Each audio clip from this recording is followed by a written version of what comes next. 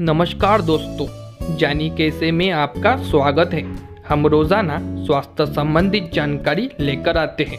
हमारे चैनल को सब्सक्राइब करना ना भूलें और साथ ही बेल आइकॉन को ज़रूर दबाएँ, जिससे कि हमारे सभी वीडियो की नोटिफिकेशन मिले आपको सबसे पहले। नंबर एक, इंसान अपने जीवन का एक तिहाई हिस्सा सिर्फ़ सोने में गुजार देता है, यानी कि हर इंसान औसतन 25 साल नींद लेने में गुजार देता है।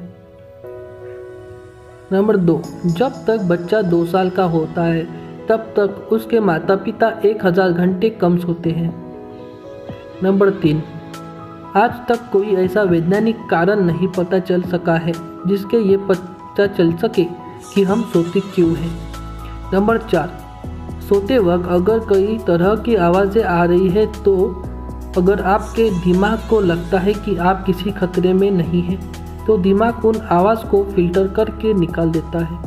नंबर पाँच, अक्सर हम दोपहर के दो बजे और रात के दो बजे सबसे ज़्यादा थकान महसूस करते हैं, इसलिए इस दौरान सबसे ज़्यादा नींद आती है। नंबर छः, पंद्रह प्रतिशत लोगों को नींद में चलने और पाँच प्रतिशत लोगों को नींद में बात करने की बीमारी होती है।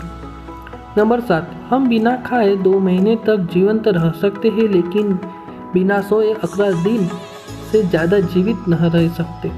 नंबर आठ, बिल्ली अपने जीवन में सत्तर प्रतिशत समय सोने में बिताती है। घोड़े खड़े होकर और खरगोश आँखें खोलकर सोते हैं।